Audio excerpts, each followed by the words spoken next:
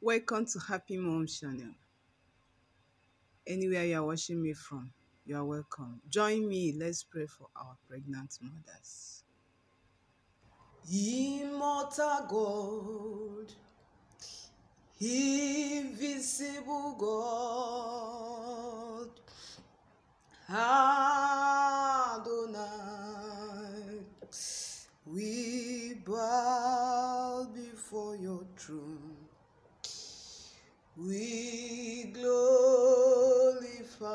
your name. Oh, man. Father, I commit every pregnant mother before you. Jehovah, you are the giver of this gift. I worship you for finding them worthy to create a newborn through them. Jehovah, we bow down before you. We return the glory to you. Jehovah, we are saying thank you. Thank you because you are the giver of life.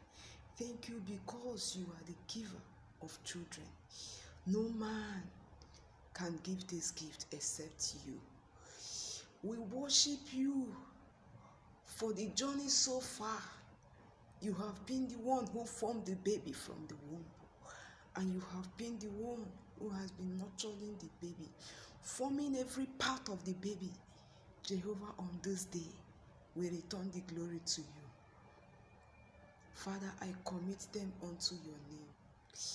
Father, as many who is hearing my voice, Jehovah, I present their day of delivery before you. I present their journey of conception before you. Father, may you lead them in this nine months journey. May you grant them safe delivery. Father, no woman shall be found wanted on the day of their delivery. No power is permitted to terminate that joy that you have put in, in every woman who is pregnant. God, assign your angel that delivers baby.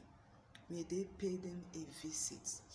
Lord, we the happy mothers we are saying, there will be no com- complication.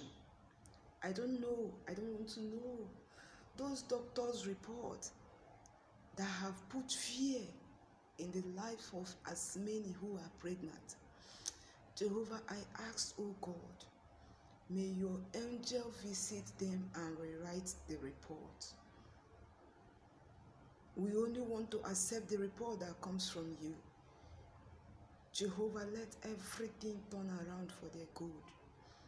As many who is asking, how will I get money to pay for hospital bills? How will I raise money to feed my children? Father, we commit them unto your care. Jehovah, do your work. You ask us in Psalm, a, a, a, a Jehovah King of glory. You told us in Psalm 94, verse 18, when we are fallen, your constant love held us. You make us to have live in your constant love. Father, as many women who doesn't have the strength to pray again, Jehovah, in their weaknesses, may you. Lord, let there be testimony. Thank you for watching. Comment the city where you are watching us from. Happy Mom loves you. See you next time.